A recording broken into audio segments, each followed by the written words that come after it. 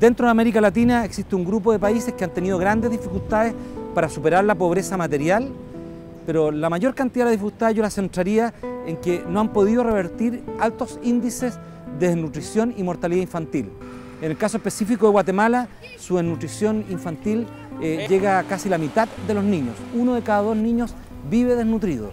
Estamos haciendo huertas familiares comunitarias para que esas familias no solamente tengan el sustento de los alimentos y para quebrar, por ejemplo, esta monoproducción ¿no es cierto? entre poroto y, y maíz, para diversificar su alimentación, sino que también la estamos haciendo para que esa misma comunidad que ha estado muy dividida, las mismas familias que han estado con pocas relaciones entre sí, logren conformar una comunidad más potente, logren ayudarse mutuamente, no solo en el aspecto agrícola de estas huertas, sino también en el aspecto educacional, en el aspecto de salud.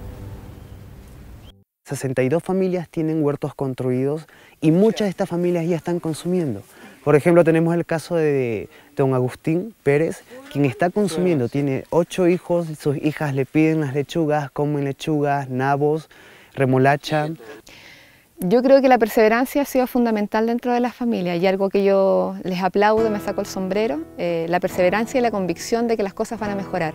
O sea, nunca han tenido una actitud negativa frente a las dificultades que se han presentado. Para mí es una buena idea porque hacer un huerto, sembrar verduras o sembrar hierbas medicinales, para mí es una salud de mi vida, con mis hijas y mi familia todo. Ya no vamos a ir al mercado porque ya tenemos aquí en casa y esperamos que siempre lo vamos a tener porque vamos a seguir sembrando para que siempre el huerto esté como está ahorita.